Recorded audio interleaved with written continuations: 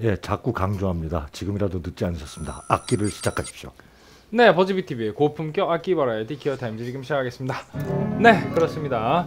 뭐 악기를 시작해서 음. 굳이 그 악기를 대단하게 잘 연주하게 되지 않더라도 그럼요. 그냥 그 뭐 악기를 연주하면서 자기가 연주하고 싶은 곡을 그렇게 만들어가는 그 과정 자체가 아, 굉장히 재밌잖아요. 재밌죠.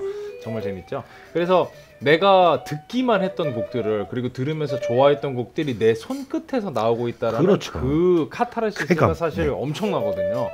그래서 고등학교 친구들이 이제 처음에 밴드를 하게 되면은 자기가 좋아하는 밴드에 자기가 가장 멋있다고 생각했던 곡들 아이. 그리고 그 중에서도 이제 테크닉적 가성비가 좋은 곡들 있죠. 네. 쉬운데 멋있는 거. 아, 그렇죠. 이런 것들을 정말 많이 찾아서 하는데 그때 당시에 고등학교 때 밴드를 결성하면 빠지지 않고 하던 노래가 있었어요. 미스터 예. Crowley. 어렵잖아, Mr. Crowley는 어, 어렵잖아. 기타가 어려운 거는 사실 잘 치고 난 다음에 땡기는 거고 어, 예. 시작하자마자 뭔가 할 수 있는 거 예. Radiohead의 Creep이었죠. 네. 이거 뭐 그때 당시 기타 high chord만 배우면 칠 수 있었기 때문에 거기다가 막 What the hell I'm doing. 막 이러면서 애들이 그 분위기를 내면서 어쨌든 그 부를 수 있는 그 기타를 치면서 부를 수 있는 수준의 곡 중에서 가장 멋있는 곡이라고 생각하는 어, 멋있죠. 예, 노래도 있죠. 쉽고요. 네. 어, 상, 그 그러니까, 가성 내면서 네. 하는 그, 어렵지만 그래도 좀 상당히 쉬워요. 그렇죠. 그러니까 뭐랄까 멋있음에 비해서는 접근성이 좋은 그럼, 곡이었던 네. 거죠. 네. 그래서 그때 고등학교 때 그 밴드만 했다 하면 애들이 하이 코드 딱 치기 시작하면 무조건 이제 Creep을 했기 때문에 음. 그 초보 밴드의 거의 뭐 필수곡 중에 하나로 워낙에 많은 친구들이 했던 곡이 아닌가 생각이 듭니다. 자, 라디오헤드 한번 살펴볼까요? 라디오헤드는 네, 데뷔 1993년도에 했고요. 네, 그리고 멤버는 톰 요크, 어, 리더 보컬, 어, 그리고 조니 그린우드, 네. 건반 치고요. 리드 기타고요. 에드 오브리언 리듬 기타고 백업 보컬하고요. 내한 공연도 왔었습니다. 네, 콜린 그린우드 베이스, 필 셀웨이 드럼. 이렇게 지금 현재 네이버에 어, 인물 정보가 나와 있습니다. 라디오헤드에 뭐 사실 뭐 여러 가지 히트곡들이 있습니다만 음, 음. 아무래도 Creep의 one hit가 네. 너무 강력했기 때문에 다른 곡들이 그 아성을 넘지 못하고 있는 어떻게 보면은 좀 네. 비운의 락 밴드죠. 그렇게 생각할 수도 있겠어요. 뭐 그렇습니다. 동시대에 4 Non Blondes도 있었고요. 뭐 그래서 뭐 4 Non Blondes 노래 주변에 왔어. 네네. 쉬운데 그 노래를 할 수가 없지 않습니까? 너무 노래를 어렵게 불러가지고. 아 그렇죠. 네. 네. 그러니까 그때 사운드는 화려하고 코드는 간단한 노래가 참 인기 있었을 때가 93년도 그때인가 봐요. 네, 네. 그렇습니다. 네. 그랬던 것 같아요.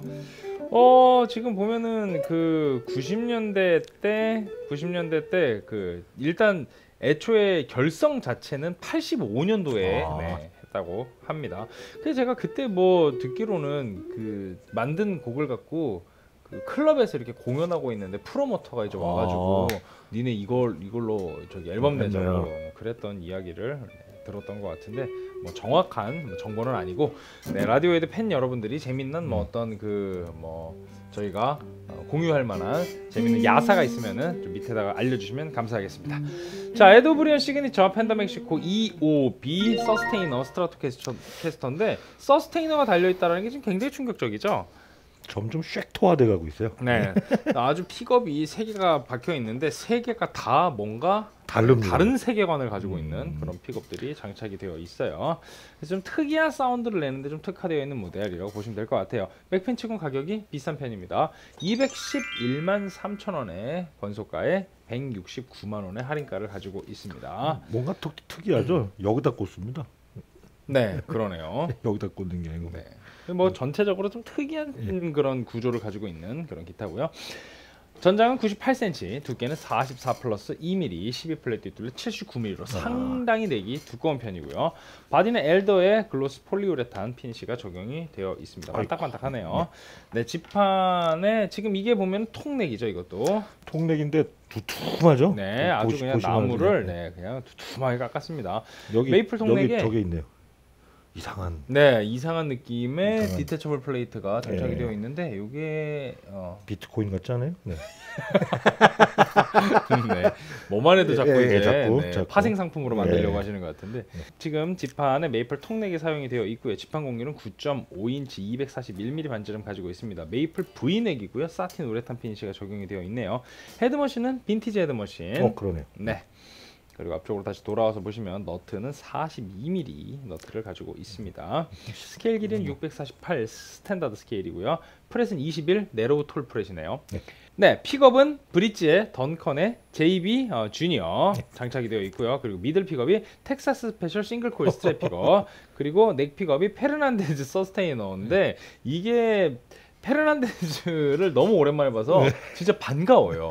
옛날에는 정말 쉽게 볼 수 있었던 브랜드였는데 이게 다 어디 갔는지. 페르난데스 쓰는 사람이 두 명 알고 있어. 요 히데랑 네. 엑스재팬의 히데랑 네, 저 나이트 레인저의 브렛 길리스 네. 예, 오지 오스본에서 잠깐 있었죠. 그렇습니다. 두 그 사람이 히데의 그 하트 하트, 하트, 기타 노란색 빨간 하트. 그 특이한 느낌의 그 Mockingbird 형태 예, 그 예. Mocking reverse Mockingbird 네. 형태인데 네.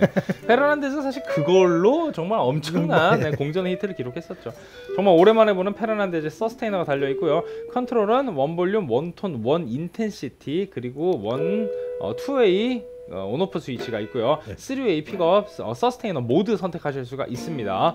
이 sustainer mode가 이제 그 뭐 하나는 그냥 쭉 유지만 해주고 harmonic의 harmonic. 정도를 조금 더 적당하게 하나는 완전 세게 와 옥타브 harmonic으로 와 막 이렇게 올려주죠. 이게 on/off고요. 네. 이게 sustainer on/off 이렇게 하면 켜지고 이렇게 하면 꺼지는데 네, 이걸 껐을 때만 pickup selector가 먹습니다. 네, 예, 앞, 이제 앞 픽업, 가운데 중간 픽업, 세이머 덩컨까지 먹고 톤이 네. 이게 미, 마스터 톤이 되겠고요. 그러네요. 이게 그걸 이제 sustainer를 키면 안 먹습니다. 네, 안 먹고 바로 이제 일로, 시작되죠. 일로 연결되고 바로 이거 이제. harmonics 조절하는 거죠.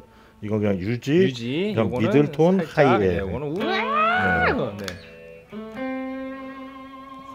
그렇습니다. 이렇게 재미난 서스테이너 시스템을 사용하실 수가 있습니다. 자 무게 달아보고 본격적으로 사운드 들어볼게요. sustainer 포함- 포함해서 무게는 썼다가 지우고 다시 쓰려고요. 저는 굉장히 적당한 무게라는 생각이 들어서 네, 저는 6이 있었습니다. 저는 47. 47.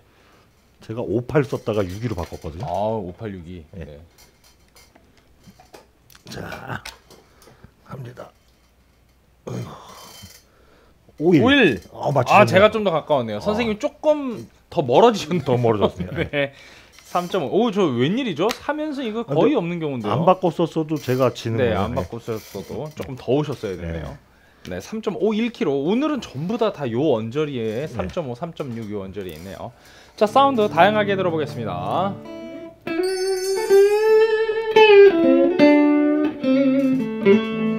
이- 어 이거 sustainer 픽업도 좋고. 텍사스 스페셜.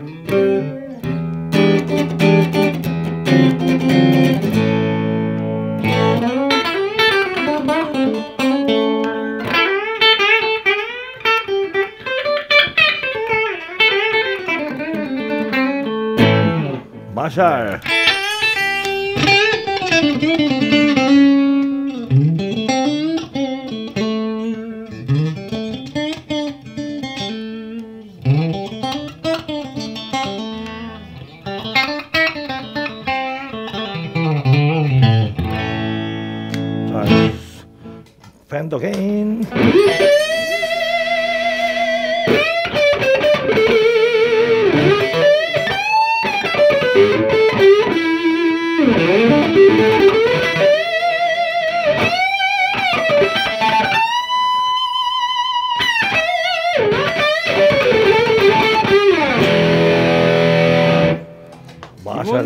아주 퀄리티가 높은 네, 그런 사운드가 납니다.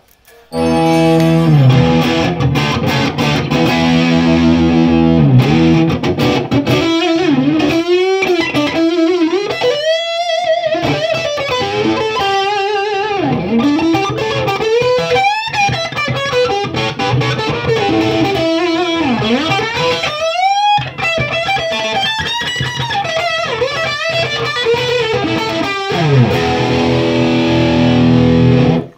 링컨의 텍사스 음. Special이다 보니까 거의 약간 Road Worn 같은 예. 느낌, 후끈한 예. 사운드 들으실 수가 있어요. 오, 엄청 진해요. sustainer를 한번 해볼까요? 음. 좋습니다.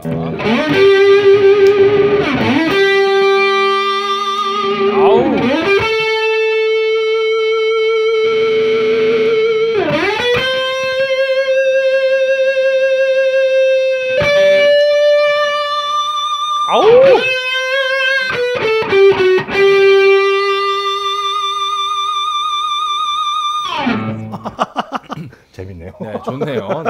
이런 것들로 좀 더 그 어떤 라디오헤드 스타일의 그런 deep한 사운드 making을 좀 더 재밌게 할 수 있지 참 않을까. 화려해질 수 있네요. 네, 그런 생각이 드네요.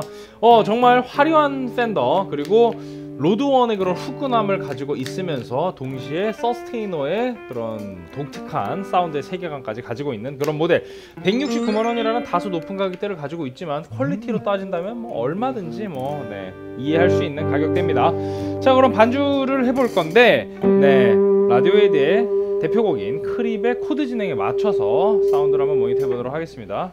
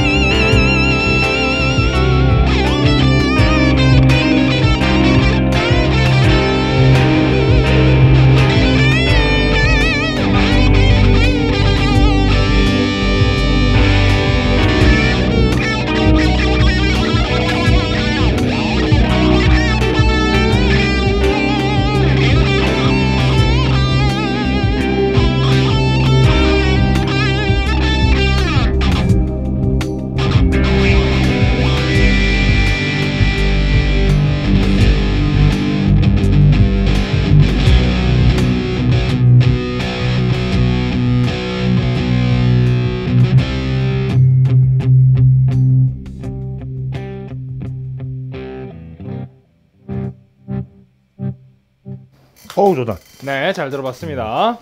재밌네요. 어우 재밌어요. 네, 아, 자 추억의 노래 Radiohead의 Creep과 함께 사운드 쭉 모니터해 봤습니다. Ed O'Brien signature 같이 살펴보셨고요. 시청자 한 줄 평 하나 드릴게요. 어우 재밌어. 네, 시청자 한 줄 평은 역시 맥펜의 Player Stratocaster Pau Ferro 모델이었습니다. 아 좋습니다. 그거 네. 진짜 좋습니다. 좋았죠. 네 여기에 윈스턴 저질리 어 얘가 포페로 지판이라 좀 더 정돈되어 있는 소리가 나네요. 어, 워낙 예전보다 정돈이 잘 된 소리가 나서 그런지 그냥 지판 취향에 맞게 선택하면 되겠네요. 한 줄평 로즈우드가 이렇게 그립지 않을 수가 이렇게 주셨습니다. 정확하게 찍으셨네. 네 그렇습니다. 아주 짧게 정확하게 찍으셨네. 안 그립죠. 자 선생님부터 한 줄평 드리겠습니다. 이렇게 드리겠습니다. 한줄평이 생각해보니까 너무 웃기더라. 내가 주려고 그랬어.